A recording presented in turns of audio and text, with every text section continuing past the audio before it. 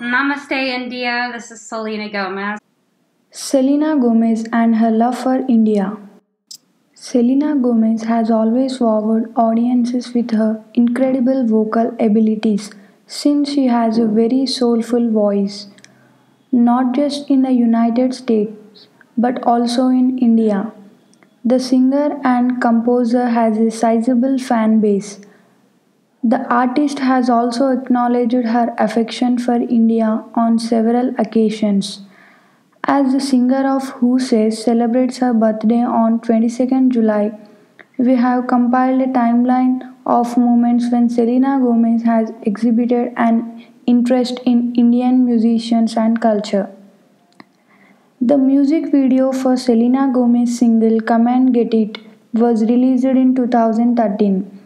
This pop video song named Come and Get It features Indian music as well as a few Hindi words. Selena Gomez expressed her love for India in this song by using her lovely voice and Indian music.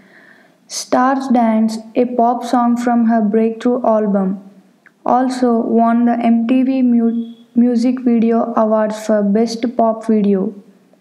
Selena Gomez's affinity for India can be shown in this photo, in which she is dressed in a traditional Indian sari on her Instagram profile a few years ago.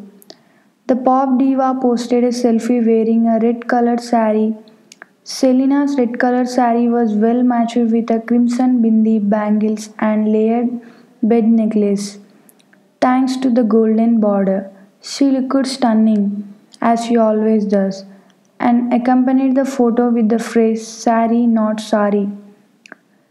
Selena Gomez confessed to the media in an interview that she wants to sing with A.R. Rahman. She also indicated an interest in collaborating with him on a Bollywood film.